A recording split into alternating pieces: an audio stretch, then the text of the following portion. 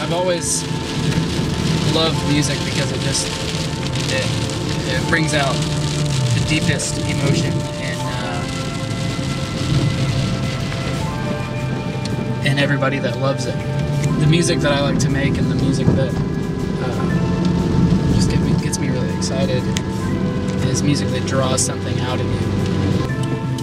I mean, I hope people like it. I hope people can feel it more than anything. I mean, I'd like it to do something to where I can get on the road with it, uh, travel again,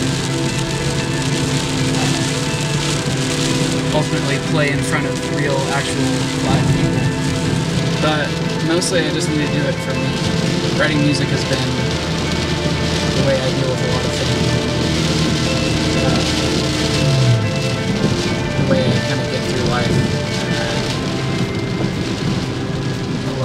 I love it in every way. So I mean, whether people like it or hear it or whatever, I still get to do it for me.